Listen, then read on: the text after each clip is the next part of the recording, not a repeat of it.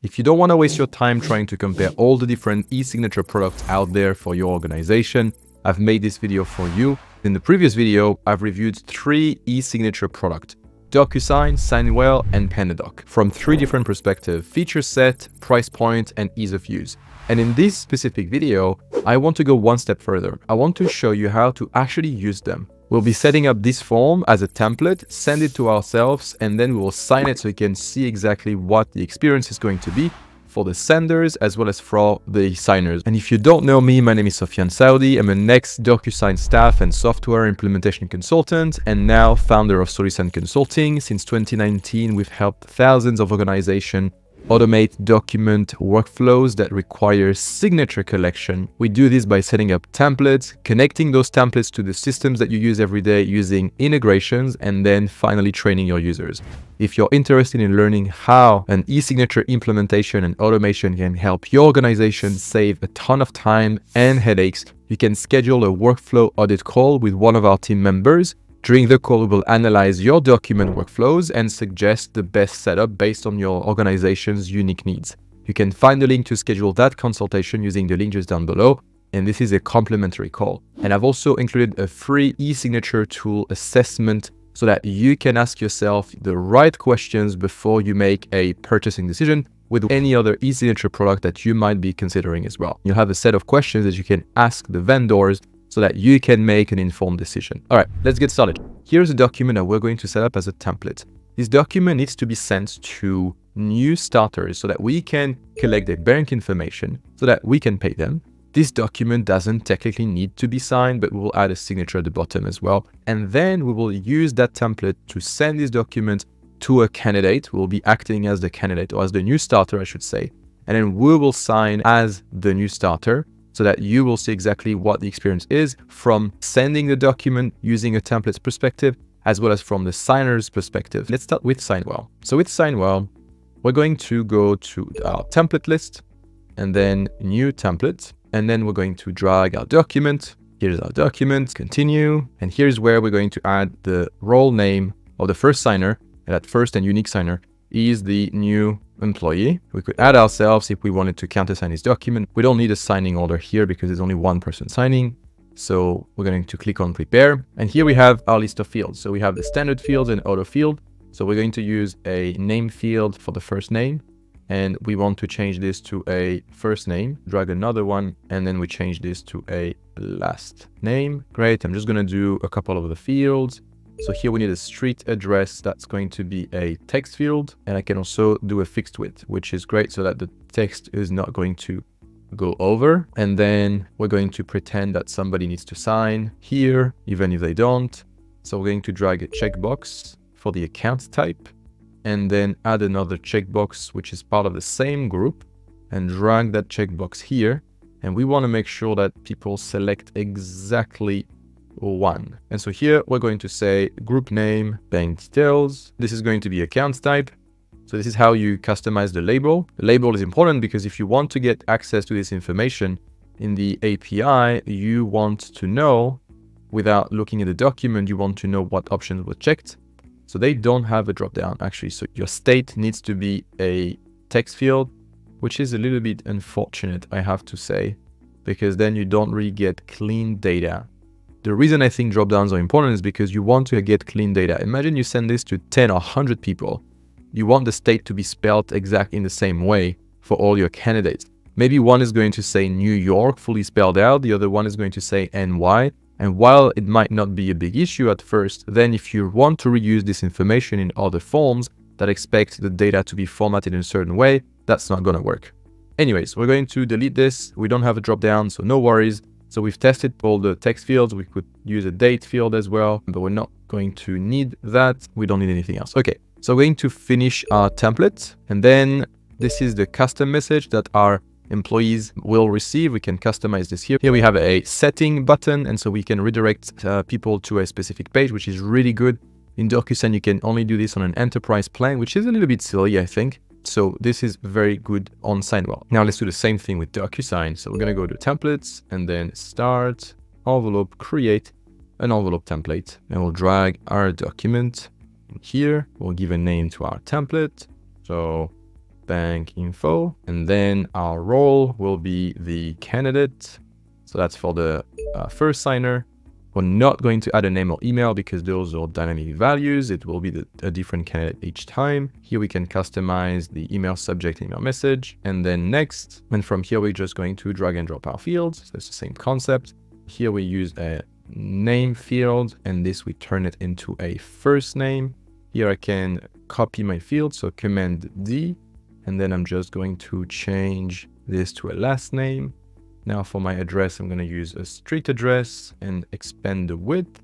And I'm also going to say that I want a full, a fixed width for my, for this field. And here I've got my state list, so I can drag a drop down menu and in my drop-down menu, I can specify what are my values. So I can say New York, Florida, California, blah, blah, blah. And then for my account type, we have radio buttons. And so radio buttons are the same as Signwell really. It's just that here, the rule that says that you can only select one is already pre-configured. You can still customize the values, which is important if you want to extract these values from API or as a CSV. So that's pretty straightforward with DocuSign. I can do this my eyes closed. We've been doing DocuSign for so many years now. And now we're going to do the same thing with PandaDoc. Let's rename our templates. So that's details. That's pretty simple. And here we're going to drag and drop our fields. So I don't know why we have the word client here. We definitely don't have a client here. This is going to be our employee. And I think it's just a default setting because most PandaDoc users use this for clients. But that's a little bit confusing, I have to admit. Let's just check the roles in our workflow. So here, template roles, delete role. For clients, we don't need this. So that was actually by default just included in the workflow. So here we want a text field. This is going to be the name that has to be text. So that's not going to be an automated field. Unfortunately, signers are going to have to enter information in there, but we might be able to add some sort of tooltip so that people really understand what they need to do here placeholder, your name. Okay, I guess we can do it this way. That's not going to be a multi-line text. That's going to be a single line text. And then here we can just have the field ID, which is candidate first name. And here, let's just see what we can do for our street address. So that's going to be a text field as well, but that's going to be, no, actually, so here's the trick. These fields here are not to be completed by the signers, but by the senders. So we don't need that. Instead, we're going to use a text field here and we can also make it larger. And let's go to our properties. And here we can say address. We cannot set the width to be fixed. In this example, it's not a big issue because there's plenty of space for the address, but that might be an issue for other fields. Now we do have drop down option, which is great. And let's see how we add our options. New York, Wyoming, Florida, California. Okay, and then that's a required field as well. And this is going to be our candidate state. Okay, let's see. And now let's do our radio buttons. Checking, saving. Okay, and this is going to be account type for our field label. And then let's just add a signature field so we can see what the signing experience looks like. And then a date signed field. Now, do we have to lock this date format autofill with signing date? Okay, perfect. Now, I guess the template is saved. There's no save button. We're going to click on use this template and then we can give a name to that specific transaction, which is something that's nice. Not DocuSign doesn't do that. Signwell doesn't do that either.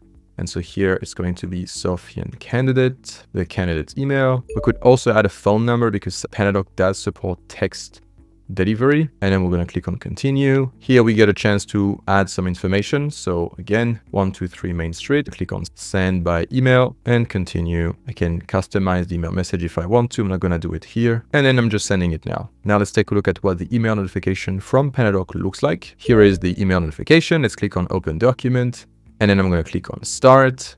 And same thing i cannot finish signing until i'm done. I really like this ui this is pretty cool it looks a little bit nicer than Signwell and DocuSign, if I'm honest.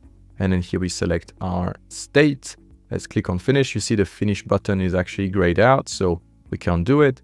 By default, it's a type. We can change the font if I want to. I can draw, or I can upload a, a copy of my signature. I'm just going to go with this and accept and sign and then finish. Now let's see how we can track this transaction inside of our sent documents. So by going to documents and then my documents, I can see that the status of these documents has completed. So it's here. I can also filter by status here. So I can see all my completed documents, all my pending documents. If I had not signed, I would then only see my document here, but I don't have any pending documents. And so let's go one step further. I've got my audit trail here, so that's really nice. I can see how long the uh, people spent on this. The view time was 39 seconds. That, that's pretty good.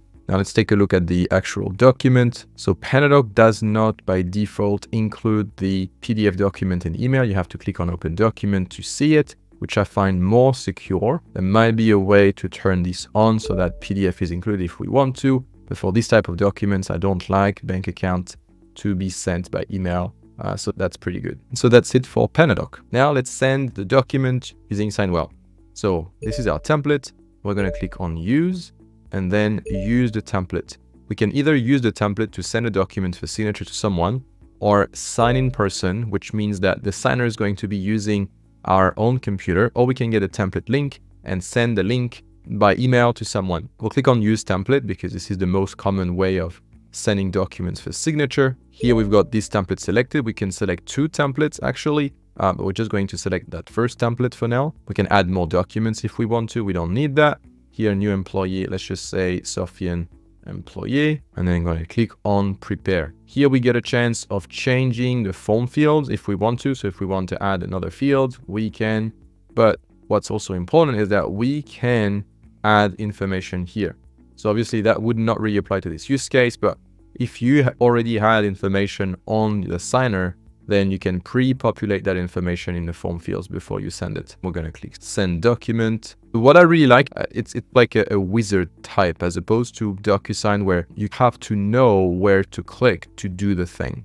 Document has been sent. Now let's sign it. Here is what the email notification looks like. So we've got the branding and we've got the little message. Here is what the email invite to signers look like. So we're just going to click on view document to complete the signing process. If we click on next field, we're being brought to the first required field. And so if we try to skip it, then it's just going inside and you, you actually get guided. Okay, so we cannot finish without obviously completing this. We can draw, we can upload, we're just going to leave this signature type, it's fine. Date signed, we can actually change the date, which is super weird. I'm wondering if this is in the template, but Let's just take a look at our template. Why can we change the date sign? There must be a validation here. Oh, locked to signing date. Okay, so you have to check this thing. Uh, forgot, which is why we can change the date, but technically we should not be able to change the date. Now, if we want to track our documents, we just go to the Documents tab at the top, and then we can sort by status, and there should be one that's in progress, which is this one, it says in progress. Let's take a look at what we can see if we click here. We can actually see what was entered by uh, the recipient, even though they haven't signed, which is nice in case they don't complete the signing action. But now if I click on agree and finish, then the status of this document should change from in progress to completed. And it does say completed here. We should now get an email back from Signwell with our document. And we also got a notification saying the document has been viewed. So that was sent a little bit earlier. And here's the email with the completed document. Pretty simple. We also have the certificate of completion. So the audit report that's here, which tells us when was the document first viewed, created, sent, and obviously signed. And we have the document ID, which is the unique identifier stamp, which should be applied to all pages. Yes, it's applied here and on the following page. It's very simple. I really like Signwell and it's so inexpensive as well. Typically on average of eight times cheaper than DocuSign. Let's do the same thing with DocuSign. So we're going to click on use and then here the candidate's name. So that's going to be Sofian candidate as well. So here we can send this by text or WhatsApp and email. But I'm just going to use email. Signwell only supports email at this stage. Now you see the thing with DocuSign is that if you don't know where to click, you're going to have to click on send and then you cannot pre-fill the envelope. This is the thing that I don't really like. You can actually customize in the settings of your template whether you want the person who is going to be using the template to be forced to go to this screen. So if I click on advanced edit from here, then I can navigate to next and then I'm going to be able to add data in my field. However, you have to know how to do that and then I'm going to click send. So that's very fast as well. In DocuSign, if we want to track our transactions, we just go back to agreements and sent or completed, depending on whether the document has been signed or not signed. You can also just type the person's email directly in here, and then the document should come up. There you go. We have the document. So that's how you track document. You can also see the full history in here. You can see when documents have been viewed, opened, signed, and all of this. Here is what a DocuSign email looks like. So we're to click on review document, and then I agree to use e-signatures and then continue. And if I try to click finish, then I cannot. I have to provide a state and then an account type. And then I actually forgot to add the signature field here, but you just click on sign and then you get the same sort of pop-up as you got with Signwell. And I just click finish. And here, unfortunately, I'm not redirected to a specific URL. I'm just being asked to sign up for a free DocuSign account, which is fine. But with Signwell, at least you can uh, redirect to a to a thank you page where you can add additional information about what the next steps are. With DocuSign, you also get a notification when the signer has viewed the document, which I've also missed and I should by now. And here is my completed document. We have the document that's here, and then we've got the certificate of completion. Now I'm curious, which of those three did you like the most from a sending perspective, sending experience and signing experience? Let me know in the comments down below. And again, if you need help implementing e-signature products and automating your document workflows for your organization, you can schedule a workflow audit call with one of our team members using the link just down below. We'll analyze your unique setup and process so that we can recommend the best setup in terms of software, as well as automation and integrations so that you can save time and headaches. I'll see you in the next video and until then, happy signing!